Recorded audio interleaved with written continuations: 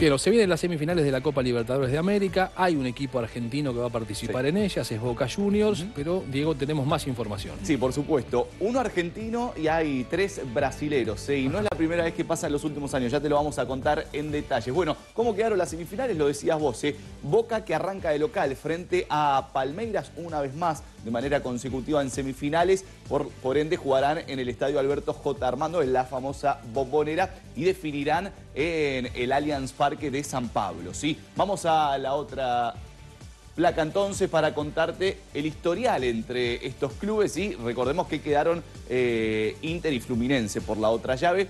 Bueno, 12 enfrentamientos entre sí, 11 fueron por Copa Libertadores y uno por Copa Mercosur. Acá vemos que Genei se ganó dos claro. y el Verdado ganó tres, o sea que está arriba en el historial. en los 90 minutos.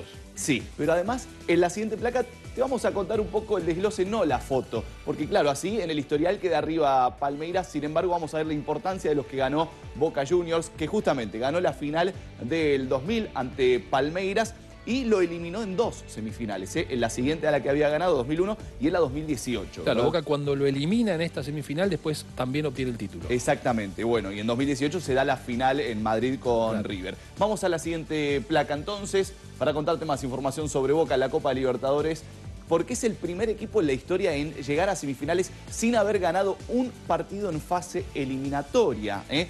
Empató en octavos de final frente a Atlético Nacional y lo propio hizo ahora frente a Racing. Y es el club con más semifinales jugadas 15 en total en formato mano a mano, ¿no? En formato mata-mata, en total 19, ¿sí?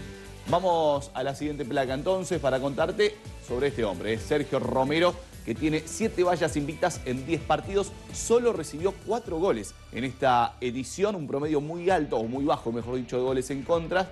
Atajó 5 de 8 penales en la Copa. impresionante también. Y además atajó 8 de 14 penales, más de la mitad desde su llegada al club de la Ribera. ¿eh? Y esto es fundamental, tener un, arquero que ataja penales en una Copa como la Libertadores. Y hablamos del otro arquero, de Gabriel Arias, el de Racing, que atajó 8 penales en la academia. 6 fueron a su derecha, ¿sí?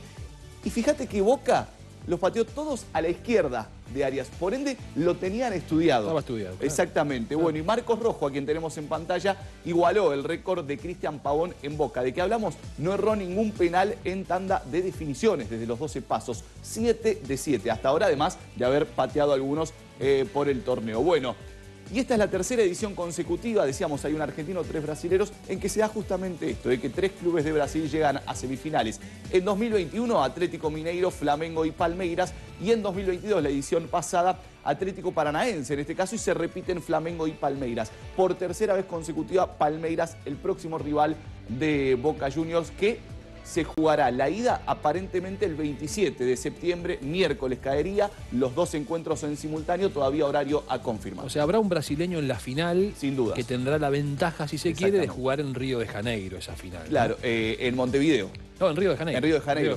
Eh, Inter o Fluminense llegarán a la final. Justamente estos dos equipos que vemos ahí y puede ser también Palmeiras o Boca Juniors. Gracias, Diego. Ya seguimos con más información. Ahora es momento de hablar de los Estados Unidos.